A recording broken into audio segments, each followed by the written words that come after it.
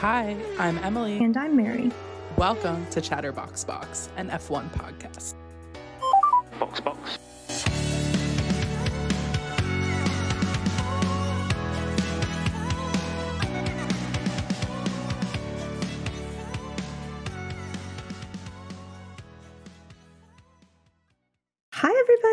Welcome back to Chatterbox Box, where Emily and I chat and giggle about all things F1. Now, we do have to admit a confession. This past week, we have not been fully into Formula One. We've been a little bit dedicated to Love Island. And I did a whole binge because Emily told me that I needed to watch Love Island, and I didn't listen to her until exactly one week ago. And I was like, okay, let me give this a shot. Guys, I was obsessed, jaw to the ground. This is one Love Island season that is so memorable. You should watch it if you can. And if you guys already do watch it, please let us know. I know we're primarily a Formula One podcast, but we love to giggle about reality TV as well. Yes, I once again have influenced Mary. I influenced her into F1, and now I influenced her into Love Island. I eat, sleep, breathe Love Island. I've watched every single season except for UK 1 through 3, which I might go back and watch. And I didn't watch a lot of the USA ones because USA used to suck. USA compared to UK, was always like, why are they even putting this on?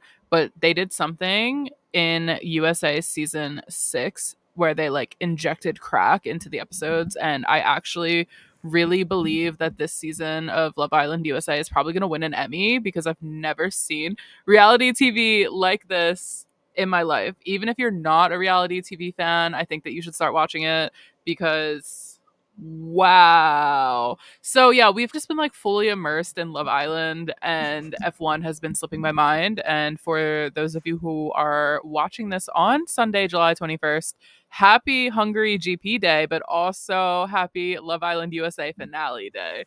So our minds are a little bit distracted and we weren't fully with the race this weekend.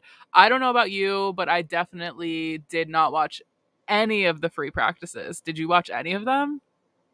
I did not, but I was keeping tabs. Carlos, at least for the first free practice, Carlos and Charles or in the top three. Like I think Carlos was first, Charles was third, and Max was second. I was like, okay, they're back. I didn't want to say anything to you, or I did not want to speak it into existence because I just wanted the Ferrari boys to do their own thing, keep it chill, keep it relaxed. I feel like whenever I don't really care about them, they do a little bit better. So I have not been thinking about Ferrari. Even I think today, I messaged you as the race was starting, and I was like, today is the day that Oscar is getting his win. And uh, boy, did I manifest that. Not in a way that I really would have been excited over. We can talk about that later, but yeah, just a little bit sad, a little bit happy. I mean, a win is a win is a win. That's what everyone has been saying. But yeah, I don't know. I think we were talking about this too. The theme for this race was the boys are whining, the boys are being babies, and the race engineers had to put on their parenting pants on and lecture their children mm-hmm. because we were getting a lot of whining from literally everybody. Yeah, I again don't know if this is the influence of Love Island, but I feel very over whining men right now because if you're watching, you know. And so this just additional whining men in F1 this weekend was like, oh my god.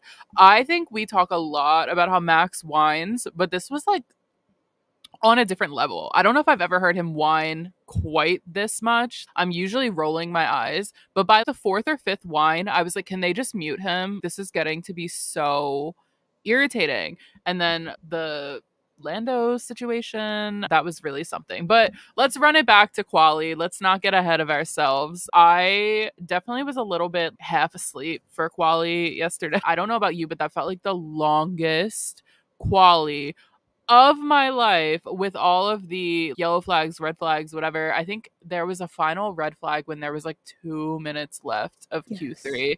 And at that point, I honestly just checked out because I was like so over it. And usually I love the quali. Usually the quali is oftentimes more exciting to me than the race. So I was surprised by my reaction. I know it's always a little bit shocking when Max doesn't qualify in first or second. But that doesn't really surprise me anymore because that's been like the tone of the year. So yeah, I think something that did surprise me, but again, not really, was Checo in quali. There was a moment where he crashed, right? Or he like went off the track. And I just continue to wonder if Red Bull is regretting their decision. Yeah, that was terrible because I think Logan out qualified um, Checo because I think wasn't Checo out in Q1? yeah, remember. yeah, I think so. I think he was. Yeah, he was. And Logan, our Logie Bear, made it to USA. Q2. Honestly, like what? A comeback for him. I know he's not going through to Q3 or anything like that, but this boy is working hard. He understands what is at stake. Not to use the word stake because there's a Formula One team called Stake, but I think he's doing better at times than Zhou Guanyu, which me, I love that Asian representation. I know that Zhou Guanyu has done really well in the past. I know Valtteri Bottas has also done really well in the past, but something about the stake setup this year, maybe it's that neon Shigo vibe that's not really doing it for anyone right now because both Valtteri Bottas and Zhou Guanyu haven't been able to get any points. They're hanging out there with Logan right now. And it's so hard to see, especially because this is the year that everyone is trying to make moves. They're trying to change their teams up. There's going to be a new team coming in, like Audi is going to replace Stake. So there is actually a lot at stake right now. And it's stressful. It's stressful. I think once I get over Love Island, I'm going to go back to stressing over what every driver is going to do and get into the drama of that because, ooh, that feels like it needs its own drive to survive season. Like this whole silly season deserves its own season. Yeah, I think unfortunately everyone is at a complete standstill until Carlos makes a decision. And Carlos has said multiple times that he is not rushing to make a decision, which I respect. You do not have to match other people's urgency. Take your time, make the decision that feels right for you. I also think that our theorizing that he might go to Red Bull feels more and more likely as Checo continues to underperform, especially today after the race when they were showing the constructors' standings and it's really anyone's game in the top three right now, except McLaren and Ferrari and Mercedes have consistently two good drivers that are pretty equal and Red Bull has Max. and so I think there's a really good chance that McLaren's going to pass them in the constructors and if they want that to continue being the vibe like pop off I guess, but I think they're very ruthless at Red Bull, and I think they are probably heavily considering pulling that exit clause and getting rid of Checo. Oh, absolutely. And I don't remember if it was this past week or the week before, but Liam was driving in the Red Bull, like he was testing it out. And I think his numbers were so good. Yeah. And there was a lot of teeny tiny dramas here and there. Yuki was a little bit mad. He said something slightly off the cuff, a little bit of a, a jab at Liam, probably because Yuki wants to be on the Red Bull team as well. Yeah. But just seeing that there's two other viable contenders with Yuki, with Liam, Checo's days are nearing the end with Red Mhm. Bull, I'll say, unless he can maintain a very consistent outcome for Red Bull. But right now, it is not it. No, it is not it at all. And to run it back a little bit to that Yuki comment, because I actually thought that was quite shocking. He basically said, to paraphrase, it would be dumb to pick Liam over Daniel. And I posted it to our Chatterbox Box Instagram account with a little poll asking, Do you think this is Yuki being loyal to Daniel or Yuki fearing his competition? And I was absolutely shocked that the resounding win was that people thought it was Yuki being loyal to Daniel. I was like, guys, I'm so sorry. I love you all, but be so for real right now. I think people maybe have like recency bias because I will not forget. I don't remember what race it was, but Yuki and Daniel were having that major beef a little earlier towards the season where they were very petty. They unfollowed each other on Instagram and they were like throwing each other under the bus. Yuki is looking to cover his ass because Yuki is consistently outperforming Daniel. I don't know if Yuki would be consistently outperforming Liam. This is not a loyalty thing, y'all. No, Like, it no really way. isn't. It is so strategic. I think if Yuki couldn't go to Red Bull, he would much rather Daniel go over there or like whatever, but would not want Liam to go to Red Bull before he goes to Red Bull. He would much rather compete with Liam in a VCARB because then at least they have the same setup and they're working with the same team. I don't I know. don't I don't think that he wants Liam to come up at all to any teams because Liam Oh, would I know. probably definitely outperform him. Oh my gosh. Yeah. Because just looking at the whole drama last season, Liam was out qualifying Yuki, and Mhm. Yuki really had to hustle and he really had to work super hard. But right now, as much as Daniel is doing well relatively, he's not consistently outperforming Yuki. Yuki is the number one driver for V Mhm. If you don't have competition, it just makes it easier for you to go to Red Bull. Yeah. I will be very interested to see who gets that second VCARB seat and if they end up pushing Checo out. In other news of like driver switch ups for next year, we did get the announcement this week that K Mag will not be re signing with Haas. I so believe that this will be the end of K Mag's F1 career. I don't foresee him being able to go somewhere else. I think he's had a pretty good season, but I do think Haas is ready to just switch it up. They're bringing in Ollie Bearman, and I am eager to see who's going to get that second seat. Do you have any ideas for who you think will get the second Haas seat?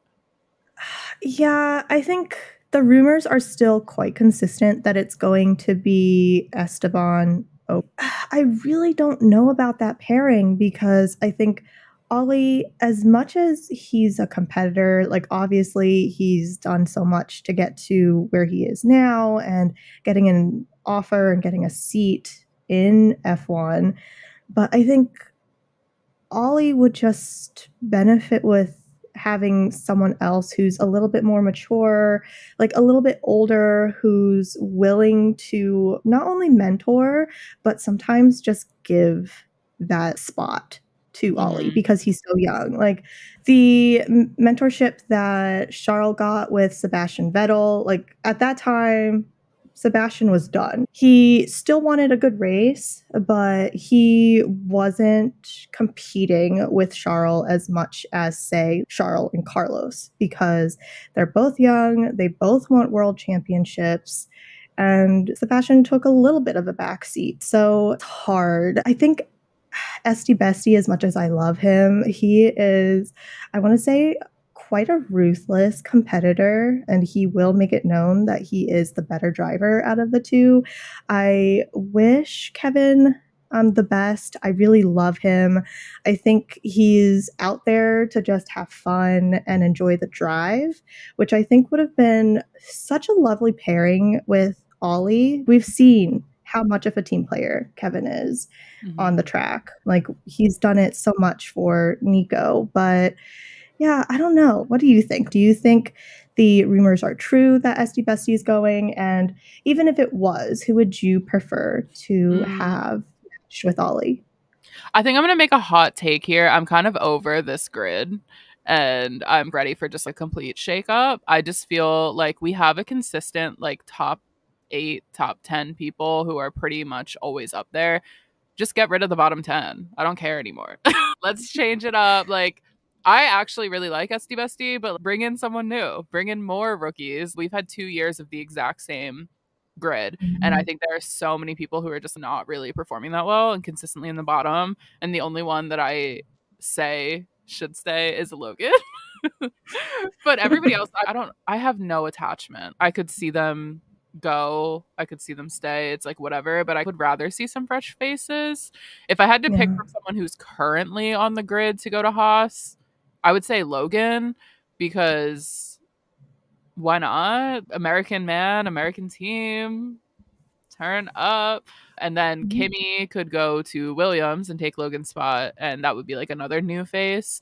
I like K Mag. I think he's given us a lot of entertainment this year, but I think his time's up. He's already had a comeback. He's already had an exit and comeback. So maybe it's just time for a full blown exit, go to IndyCar, do something fun. I don't know. See, as much as I would like to see some of our Formula One drivers going to IndyCar or any other motorsport racing, I don't want to commit myself to another motorsport. Yeah. Like the whole idea of Logan potentially going to IndyCar, I'm like, oh, like these past weekends have been so hard. I don't think we've actually said it mm. on the podcast, but that past triple header really wore us down. I think yeah. as much as we might be a little bit burnt out, I can't imagine the drivers getting they must be looking forward to the summer break as well. But yeah, I can't imagine dedicating my life and time to another motorsport because I think I would just be too invested. Yeah, I think we're both definitely feeling a little bit of F1 burnout, especially like in the summer. You're trying to live life and go out and about, and it's getting a little hard to have to make sure to be like available and awake Saturday and Sunday, both days for the race, like weeks in a row. So I'm very much looking forward to the August break because I want to get my excitement about F1 back. It was starting to feel a little bit like a chore I definitely feel much more enthusiastic and excited about F1 during the fall and spring parts of the season because I just tend to have less going on. But where we live, we really need to take advantage of the sunny months and being able to be outside. And it's hard to be like, I guess I'm going to not go to the beach because I need to watch F1 and whatever. So I think a lot of the fans are feeling burnout. I know I saw our queen content creator, she loves F1, has lately been giving away her race weekend passes because she's like, I can't just keep traveling internationally every single weekend. And I can only imagine how drained the drivers feel because they're actually doing the work. I'm just sitting on the couch watching it and I'm feeling burnt out. So they're probably really, really burnt out. Mm-hmm. And now I understand a little bit more why they're always like, there are too many races. We need to scale back. Yeah, I definitely get it. And I think our burnout might be a little bit more different if we actually had friends in the area that would be excited to watch the races with us. But right now, it just feels like such a solo activity. I know, mm-hmm. like, when I'm watching, you're also watching, but it's a different type of vibe. Like, it's different if you can go to the bar or have a little mm-hmm. F1 party. So you and your friends could watch together, gossip a little, take it easy. It honestly just feels like you're isolating yourself when you could just be outside enjoying the sun, getting some vitamin D, which is so necessary, especially in our parts. Yeah, it's definitely also hard being a fan of a, I would say, majority European sport when living in America because the races are on in Europe at 2, 3 p.m. That's perfect middle of the day activity. Round up some friends, go watch it at the mm-hmm. bar or watch it at someone's house or something. no one I know in real life likes F1 other than my family, and no one I know is getting up at 9 a.m. to come watch a race for a sport they don't even like. It definitely, yeah, I think you're right. It does add a lot to the isolation, which, like I said, is fine in the cold fall months and the early spring cold months when you want to just be inside anyway. But in the summer, when I'm like, oh, I want to be out, I want to be social, trying to find the time to just dedicate like your whole weekend to F1 is very hard. So yeah, if you guys are feeling our burnout and feeling that we seem like a little bit less excited about the race in general, wanted to provide some context for like why we're feeling this way. Would love to know if anybody else is feeling this way as well. Yeah, absolutely. Um, but I guess this was a really exciting race. I will say the beginning of the race, especially around turn one, turn two, Oh my gosh. I was so worried that I couldn't make it because I was like also in tandem pug sitting and I like wanted to make sure that I didn't miss anything because Oscar and Lando were like the first two in qualifying. But it was such an exciting starting grid that I knew that I couldn't miss it. And oh my gosh, I was totally right. Oh, I think Oscar this race was my driver of the day because he started off so strong. He was consistent. He was focusing just on his drive. And we knew already that if Oscar had a chance to win or to be the race leader, he would just be focused. He has such a good head on his shoulders but I was a little bit devastated overall because of the McLaren strategy to mm-hmm. pit Lando first. I think if Lando wasn't pitted first and they pitted Oscar, there would have been more of an exciting race for McLaren. It still would have been a solid 1 2 win, getting the majority of the points for McLaren without the whole weird mm-hmm. feeling that you were in the room when your best friend is getting lectured and yelled at. I was like, this is so awkward. Yeah. It, it, just took away from the actual race. And if it was, in fact, that Lando was faster, I think that would have been fine. It would have made the race a lot more exciting. But because of the whole like discussion on the radio, it like really took away from both Lando's driving and Oscar's driving. I think both of them coming out of it, yes, a win is a win, but you could tell that they were all going through the motions of, yeah, I won. It was great because my parents told Lando to knock it off. Mm. And like even Lando was like, yeah, I just did it because my team told me to. It was fine. Yeah, it very much had the energy of a parent having two kids and they're letting the one kid play on the Nintendo Switch and they're like, but you have to give it back to your brother in 20 minutes. And the older brother is like, wait, but I'm about to kill the boss. Like, please let me have it for a few more minutes. And they're like, no, we said that you would give it back. That was the exact vibe. It was so uncomfortable to watch. And it's really unfortunate that their shitty pit strategy like put both of the drivers in this position. Someone in our Discord group said that this race was a really good indication of how Lando's frontal lobe is not fully developed. and I was like, that is so real because I think he drug it out a little bit too much and he drug it out for so long that by the time he was giving Oscar his spot back, it was very much like giving off this energy that Oscar didn't deserve it and Lando's handing it to him. And that made it really uncomfortable. Uh, it made me really sad that Oscar, upon winning, one of the first things he says on the radio is, I'm sorry I made this difficult. And I was like, sweet baby, you didn't do anything wrong. You were following team orders, and then they were rightfully giving you your spot back because their team orders messed up your win. You didn't do anything wrong. And Lando was just dragging it out for no reason, being really petty. It was really awkward listening to them publicly discipline him. on the team radio. And then we simultaneously had the whine show featuring Max Verstappen just like whining and whining and whining and whining and cursing and yelling and complaining. And I was like, oh my gosh, the theme of this race is grown men whining. The theme of this race is like toxic masculinity. And there were so many wins here because we have been jonesing for an Oscar win. Having Lewis on the podium is amazing. Like Lewis's 200th podium win. That is nothing to ignore. Like, Right. and I felt so bad because even during his post race interview with Nico Rosberg, he didn't really put the focus on himself. He was more so trying to hype up Oscar and hype up McLaren as a team.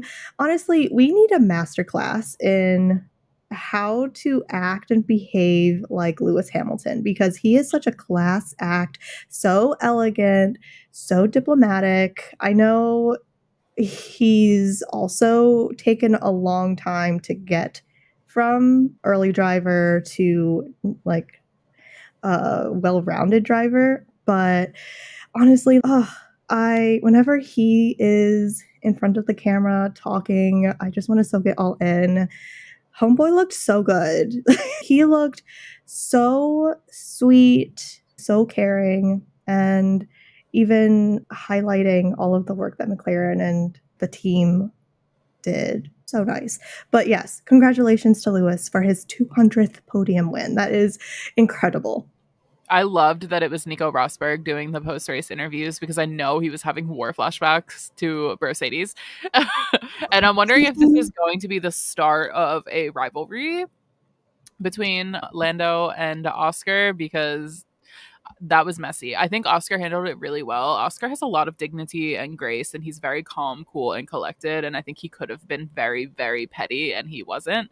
So shout out to him. I actually think that Lando handled his interviews a little better than I was expecting, but you could just feel this air of petty. The smiles were so visibly fake. When they went up to the podium and they were like spraying champagne, he was not spraying champagne on Oscar. When they were in the cool down room, he like had his back to Oscar for a long time. And of course, this may just be us like looking too much into it because we're looking for the pettiness, but I'm not looking for, at things that aren't there, you know? exactly, exactly. And even throughout all of Lando's interviews, you could tell that he's I think he was so upset that he wanted to hold back tears. The signs of a person wanting to cry or like holding back tears is so clear because your nose gets a little bit red, your eyes get a little bit more teary, and it's not like sun in your eyes, like watery. It's like around the waterline, teary, your lips get a little bit more like pink and that it just looked like Lando knew that he was going to get in trouble. Just going Yeah. back to your analogy of not sharing his Nintendo. You could also see it in the cooldown room when Lando first comes in. He knocks his second place hat down. I'm like, Mhm. excuse me like that's excuse me pick up your toys. Pick up your clothes. It was really giving off. He's so mad and i know he was trying so hard to keep it together because he did at the end of the day play the team game. But you just knew that he wanted to be in the running for WDC and it was just really hard for him to let that go. Yeah. And I, it seems as though since he won in Miami, he is only chasing after wins and he can't be happy with anything else, which I understand. I think that these F1 drivers really hold themselves to a very, very, very high standard. I also think it is a team sport. You have your teammate in first, you in second. That's a major win. Y'all beat out the entire rest of the 18 people. Maybe just be like privately unhappy because you're making yourself look bad. Yeah, I like totally get it. Actually, I don't because I'm not competitive. like I'm not competitive in the slightest. I know you're also not a competitive person. If we were on the same team and you haven't won yet and I have, I'd be like, "Go girl, go get your pole win, queen." I wouldn't have given you a 6 second gap to try and catch up to me. It would have just been like, "Yeah, I'm to slow down. You go for it." And then I'll protect you from Max Lewis in the back. Lando, I think, was a much better competitor when Carlos won in Singapore because he was holding back the rest of the grid as Carlos was winning. And now he can't do the same thing that Oscar has been providing him for Oscar's first win. It just doesn't make sense. I get it because drivers will be drivers, drivers will be competitive. But for anyone that says that it's not a team sport, why are there two drivers on the same team? It's both an individual sport as much it is, as it is a team sport. And it just made it really messy. I couldn't even be happy for Oscar because yeah, like yeah. at the end of it it just felt disappointing. Yeah, and we love Oscar here. I've been like jonesing for his first win. I have been so excited for the day that this came. I was not even smiling. I was just sitting there, oh, this feels really uncomfortable, and it really soured his win. And I hope he doesn't feel that way, but it seemed like he did feel that way from the way he was rep- yeah. Mm-hmm. responding on the radio and just the way he acted in the interview. I think it did take away a little bit of the joy for him. I'm proud of him. I'm glad that he won. I'm glad that Lando did finally listen and give him the spot back. But I would have killed to be a fly on the wall in that post race debriefing in the McLaren garage because you know that that was bad. Also, the Red Bull post race debriefing was probably terrible, but the Mercedes post race debriefing was probably phenomenal because we had a Lewis podium and George absolutely hustled to go from 17th to I think 8th and that's amazing. So they were probably skipping and dancing in the Mercedes post race debrief, and the Ferrari team was probably crying, but also thumbs up. yeah, Ferrari was crying, but thumbs up because they definitely did better. I think even Fred Vasseur was like, yeah, I mean, it was good. Fine. We're improving. Like they were both in the points. Exactly. Like you can't complain if you're both in the points. Lewis, though, and George, oh my gosh, Grassy, Grassy, Grassy. I knew he could do it. I wasn't worried about him. Um, I was a little bit confused about Checo, though. Like, how did he get from the bottom of the grid to, is it seventh? Yeah, seventh. Yeah. I was like, how did that happen? Like, that major, major shocker for me. Yeah. I think it just goes to show, and I think this is a major criticism of the sport that a lot of people say that the whole entire bottom half of the grid is just not competitive. I think they could really just get rid of the bottom 10 people and nothing would change. There it's very consistently the same 8 or 9 people and then maybe one or two surprises every week. So it doesn't mm-hmm. surprise me that George and Checo were able to just take them off one by one and move on up because I think half the people their cars suck and they just don't stand a chance and it's really a shame and i wish that they would change the regulations to make all of the cars good because sometimes i wonder what is the point of the other five teams even being there? What is the point of stake being in f1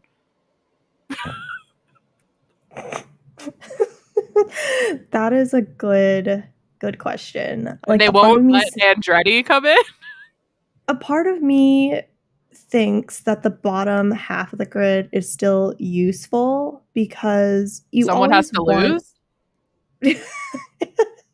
well, you always want a couple of teams to do more research and development. So, especially with all of those like top team partnerships, like Ferrari partnering with Haas, you're going to be able to see how your parts perform better or like how they perform in general with different specs compared to you. I don't know what the strategy is if Ferrari is giving them brand new um, components or like older used components that have been fully vetted out, but I can definitely understand the different ways that you can showcase your hardware and your components.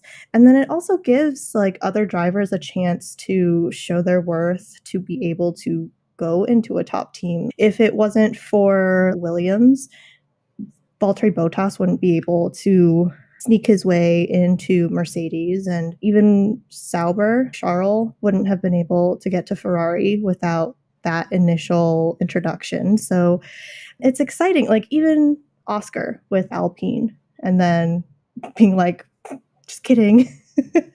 like homeboy is now at McLaren. He got his first win. So I think there is definitely a place for these teams. But yeah, I would be excited to see a little bit more like regulations to make it a little bit more even. Um, I know that the more money you have, the more you can put into your car. And unfortunately, the teams that don't get on the top just have less money to play around with. Like, I don't understand Alpine's strategy because Pierre is just like starting from the pit lane. He DNF'd for I don't know what reason. I don't think yeah. it was ever mentioned, but I'm assuming because of his penalties due to getting all of those component changes that it didn't make sense to finish the race. I don't know. It's weird. Yeah, I don't really know what happened there. One moment he was in, the next minute he was out, and no one really said why. And I was like, okay, Alpine's out again. Big surprise. I know. I like asked you, I was like, what happened? like, girl, I don't like, know. I, I don't truly don't know, and I guess they don't even care to cover it.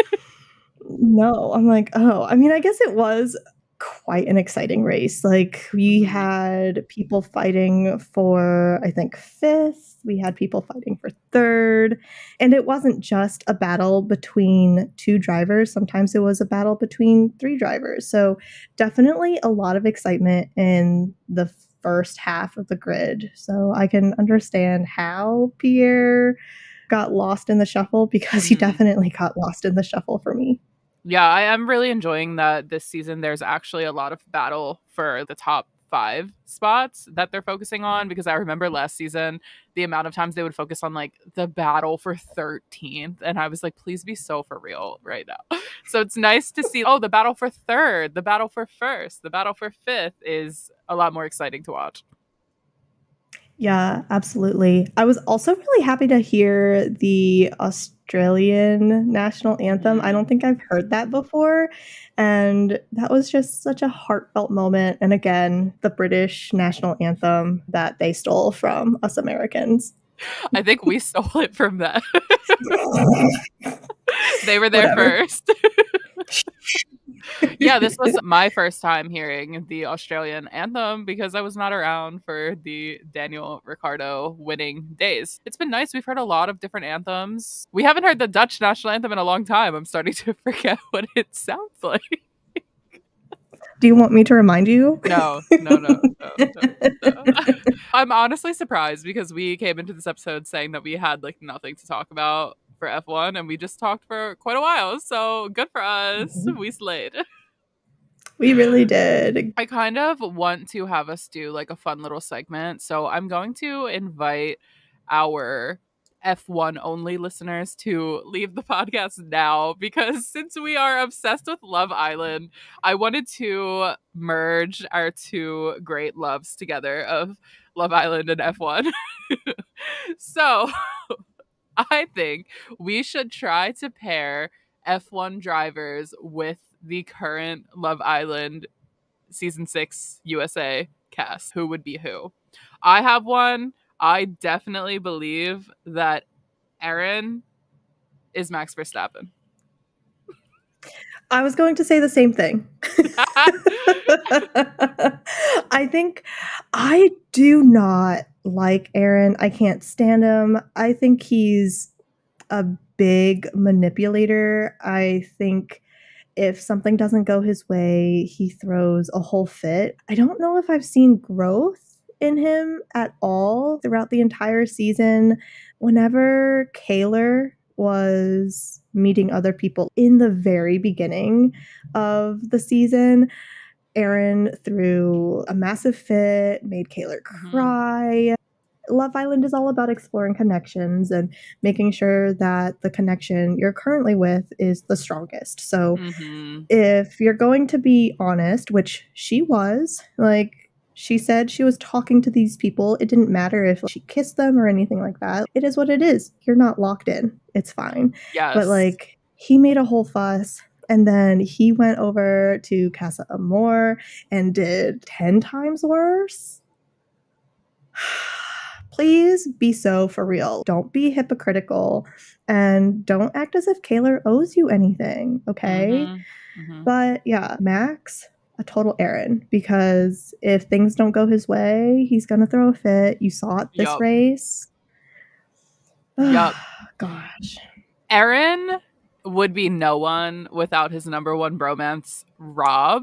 And as such, I believe that Rob would be Lando. Because Rob is very similar energy to Lando, I think. Sometimes Mhm. has their level headed, likable moments where you're like, oh, this person's actually really funny and charming. But other times you're like, oh, something's kind of off with the. and that is exactly how I feel about Lando. Lando has his moments where I'm like, actually, he's hilarious. So when he was DJing on the boat for King's Day with My Life as Ava and Martin Garrix, I was like, what an absolute legend. But then he does things that are just, I'm like, Lando. Like today, the whole race today, I'm like, Lando. And that's like how I felt when Rob was doing our girl Leah dirty. So I think that that is so fitting because Max and Lando have a little bromance that they would be Aaron and Rob. That is so cute. I would have to say my favorite man towards the end of the season is Kenny because Mm. people think he's so boring, but I think there's so much depth and so many layers to him that I would compare Kenny to Oscar. They're both very chill, level headed, and at the end of the day, if Oscar's going home to his girlfriend, he's not going to act the same way. And you could see how Kenny acts with JaNa. Oh my god, love her. But him with JaNa, googly eyes, just being such a supportive king, Oscar, I imagine would be the same way. His guard would be let down. He would be so cute with Lily. I can already imagine it. So yeah, Oscar and Kenny, same vibes. Okay, yeah, actually, I can see that. I love that. I didn't think about that until you said it, but I really like it because we have Kenny walking around the villa in business casual, and I could totally see Oscar doing that. Kenny is also definitely, I think, the most introverted person on the cast. So it took a while for us to get a sense of his personality and his humor. And I think exactly the same with Oscar.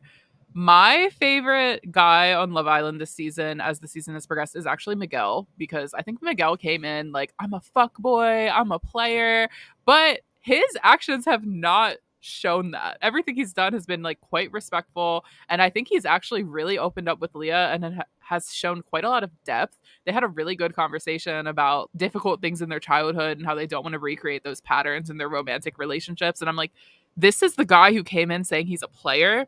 And so to me, the number one person I would compare Miguel to is Carlos Sainz because I think Carlos Sainz also kind of gives like player playboy energy, but he's also a serial monogamous. Like he's always in a relationship and he seems to be very dedicated to his partners and spending a lot of time with them when he's in a relationship. So, I don't know, I kind of see the vision.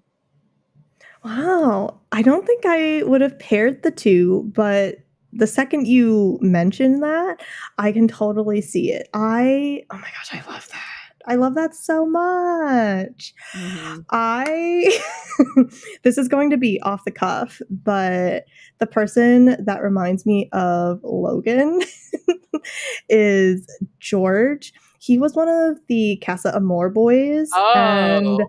he was kind of forgettable. A lot of the Casa boys are forgettable.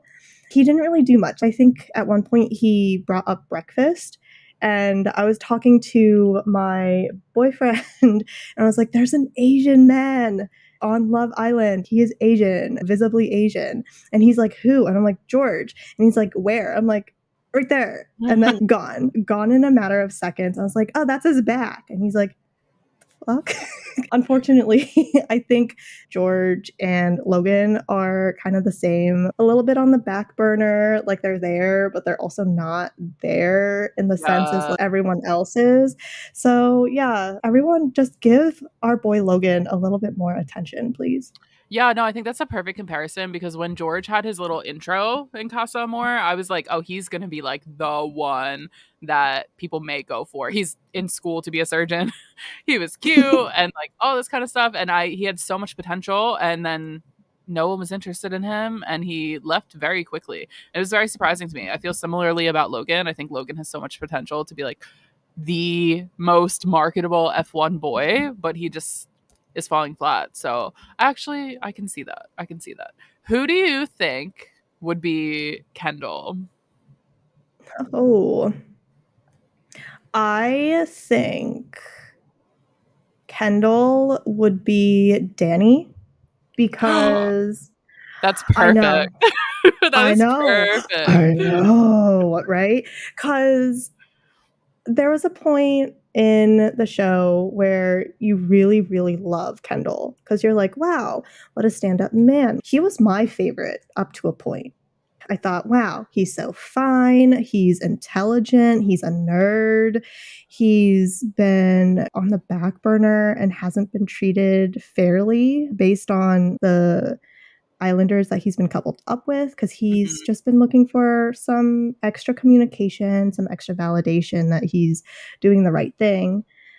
And then what do you know? His personality comes out and he's basically just supporting these wild like not necessarily cheating because it's not as if they are in a whole relationship but he was encouraging the men to go just a little bit further. Yeah, like, why are you sad that you made out with her? You should be totally happy because that's a connection you should totally pursue, blah, blah, blah. And like, it just seemed a little bit two faced where he's trying so hard to fit in. And I see that with Danny as well. Yes, strong contender. Everyone loved him. And then with the recent news of people, he had said some pretty bad things that made me not want to support him anymore because he was not the feminist man that I thought he was. So, yeah, just gave me the ick. Like, great at the beginning and then just significant drop after. Yeah, I think that's perfect. Very similar life journey to we have um they both had an early awkward stage and then the big glow up and they're both very funny and likable but then also both have a quite calculated side i believe so i think that's perfect I, I also want to compare it to the girls because I know there were other guys in Casa and other guys like earlier on in the season, but I think that they just didn't leave enough of an impact for me to compare. So I'm going to compare mm-hmm. to the girls. And my number one girl on this season of Love Island is Leah. And I have no choice but to compare Leah to Sir Lewis Hamilton. I think that Leah has a little bit more bark to her. Like, Leah is a little bit more outspoken and not afraid to be blunt whereas Lewis is a little bit more careful in his answers. So in theory, Lewis may be like personality wise more similar to like JaNa, but I'm saying Leah and Lewis because Leah is definitely the breakout star of this Love Island season. Starting the season, she had 17,000 followers on Instagram. As of right now, she has 991,000 followers. I think she's going to hit a million before she even leaves the villa. And she's definitely going to be like the most recognizable Islander probably since Molly-Mae, season five UK. And that's I think Lewis. I think a lot of people, even if they've never heard of Formula One, they know who Lewis is. And Lewis is an icon, a legend. He's created such a unique path for himself. So that makes sense to me. I also think Lewis did have his petty era when he was younger. So maybe that was similar to some of the things that Leah says. But yeah, gotta be Leah and Lewis for me. Okay. I I can see that. I was thinking more JaNa personality wise because they always know exactly what to say. JaNa's final supper speech Oh had yeah. me in tears. And I feel like Lewis would say something similar. Like it it was just so so beautiful. I do want to switch it up though. If Lewis is single and if none of these connections on Love Island actually work out, who would you want Lewis to go on a blind date with? From the Love Island cast. Yes. Probably so. JaNa or Leah. so I think that they would just look Leah. hot together. Like they would look so hot. But I think JaNa has such like a kind and welcoming personality. And I think that that would be something that's really helpful to have in a partner when you live the kind of life that Lewis Hamilton lives. so true. So true. I would be doing a disservice if I didn't bring up my boy Charles. Obviously. Sorry, Alex. Sorry, Alex. Just hypotheticals. gonna say this for every person. I would pair Shara with Leah. I th- I think Leah is actually like very much Charles type though. Like Charles tends to love like a fit looking, long haired brunette. I've never seen him with blondes, so I don't want to say Kaylor or Liv. Maybe Nicole, but Nicole's a little older than him. Yeah, I was thinking Nicole because she's so supportive and Mhm. like the brunette, and I was trying not to call Leah out again. um, but I think Nicole is a little bit older. Like I think at this point she is totally ready to settle down, and I don't know if the F1 lifestyle would be suitable for her. I was thinking Liv if Mhm. she was like a dirty blonde, like a blonde kind of hair. I think her personality and the way that she loves and the way that she cares for her friends is quite similar to how Charles cares for his friends and his family. So I think that could be like really well matched, but I don't know. Liv is also really tall as well. Mhm. So I I don't know if that would perfectly match, but I can see Liv with Carlos Oh, like she's kind of fiery he's you know carlos chili pepper Sainz i think they would have a lot of fun together if all of the F1 drivers were on a season of Love Island, who do you think would win? oh that is so tough a part of me wants to say lewis Mm. but i don't know if he's competitive enough to actually win i want to say maybe Charles, just because he is a serial monogamist. Mhm. So it's either Lewis or Charles, like 16 Yeah. girlies. as much as I love and worship the ground that Lewis Hamilton walks on, I don't think he would be great in a dating show because I think he is just so like aloof and ethereal that people would be intimidated. I 100% think that Charles Leclerc would win Love Island because I think Charles Leclerc looks like most people's dream guy. Like he has that tall, dark hair, blue eye thing going on. I think the girls would eat that up. He has a very similar look to Rob, and Mhm. Rob has gone through six couples. So I 100% think that Charles would be like just as sought after. You know how in the beginning of the season they did the thing where it was like go stand on the platform with the guy that you want to partner up with, and there were like three girls with Koi. I think it would be like all six girls are with Charles.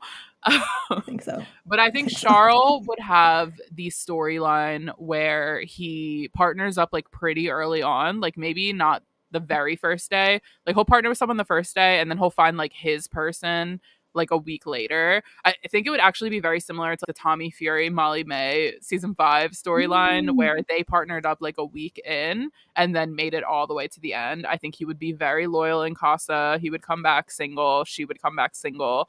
They would couple up and then they would easily win. I just can foresee the whole thing. Yeah, I can definitely see that. I can also see that if Charles and Alex were in Love Island together, I think they would probably gravitate towards each other, not Yeah. immediately, but towards the end because they're both there and because they've gotten to know each other a little bit Mhm. more as well, they would just stay loyal to each other. Oh my god. I would love to see Charles and Alex in a Love Island situation. I also know that we can't talk about Charles' dating life without talking about how he's often considered to be quite messy because he'll just date similar girls in the same friend group. So there could be a possibility of he goes to Casa and his partner's best friend gets sent in and he ends up dating her. But I think Charles is also extremely media trained and would be very aware of like how he's presenting himself to the public. So I don't think he would be a horn mm. dog in Casa. I think that he would behave himself. Yeah, I think if Lance and Lando were in Love Island, they would be they would be loving Casa oh Amor. my gosh. Lando in Love Island would 100% pull an Aaron in Casa Amor. 100%. It's not even a question. Yeah, either that or pull a Rob because he is so like he gives the vibe of being lust focused. So like the second he finds like a hot girl, Lando would Mhm. be all over that. And Yeah. because Lando looks the way Lando looks, like people, like girls, might flock to him. Yeah. Yeah. Well, I think we've yapped enough about Love Island. We've probably just lost many listeners who are like, I don't care. But I know that there are people out there who have this same crossover love as us. And I hope that this found its way to you and that you enjoyed it. My final Love Island related question that I have to ask because it is the day of the finale who do you think is going to win? I am hoping that it's Kenny and JaNa, but quite honestly, everyone is such a good contender. I Mm, think it's anyone's game at this moment. I would be happy with pretty much everyone. I'm a little bit iffy about Kendall. Like, I love Kendall, even though he was a messy man. I love Nicole even more. So I'm kind of ignoring Kendall as part of the equation a little bit. I would love all of the girls to win. Their friendships have been so nice to see, so refreshing. And honestly, the diversity, it would, I would do a disservice if I didn't call out the diversity of this cast mhm. and the top four. It, oh my gosh. It just makes me so happy seeing people that kind of look like me. Nicole is part Filipina. So I'm like, Mhm. okay, Southeast Asians, like, stand up, Yes. represent. Um, but yeah, overall, I would honestly be so happy seeing anyone win. What about you? Yeah, honestly, I wish more than anything I could have voted for the friendship of Leah, JaNa, and Serena because to me, that was this season. That was like one of the most sincere and heartwarming friendships that I've ever seen unwind naturally on TV. I cried many times at how supportive they've been with each other, and I love that so much. And I think that they will be lifelong friends, and I love that. I voted for Leah and Miguel because like I said earlier, I actually genuinely think that they had a very honest and upfront and respectful coupling and I think I've seen a lot of growth between the two of them. I think that they've been able to have deep conversations, but they've also been able to have really fun conversations and I don't know, I think they're actually a really good pair. However, I think Mhm. the win is going to go to Serena and Kordell, and I will be so happy with that. I also love their journey. I know that Kordell had his little gross Mm. shit in Casa that was quite disrespectful. But one thing I will say is I think Kordell could teach a master class on taking accountability, not shaming someone for their emotions, and just letting them feel things the way that they need to feel. I thought it was wonderful of him that he came back and he let Serena scream at him. He let Serena be mad. The guys were trying to tell him, Do you want your future wife to act like that? And he stood on business and he said, She has every right to act like that because I messed up and she didn't. And he just let her be angry and he won her back. And I love that. So I think it could be them. I also think it could be JaNa and Kenny. I don't think it will be Nicole and mm-hmm. Kendall. I think it could be any of the big three and their partner, but I don't think it will be Nicole and Kendall unless the big three splits the vote and then Nicole and Kendall sneak on up. yeah i don't know i oh what a great season if you guys are watching love island if you guys cared about the race, if we missed anything because we were so focused on Love Island, please shoot us a message. Let us know at Chatterboxbox F1 on Instagram and Threads, and at Chatterboxbox on TikTok. Yes. But I think that's pretty much it for us this episode. We will be back next week for the Belgium Grand Prix, and then we will take a much needed break alongside of our boys. Yes. Everybody have a great rest of your day.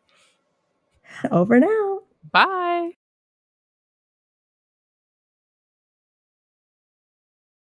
Let's finish it off on a high.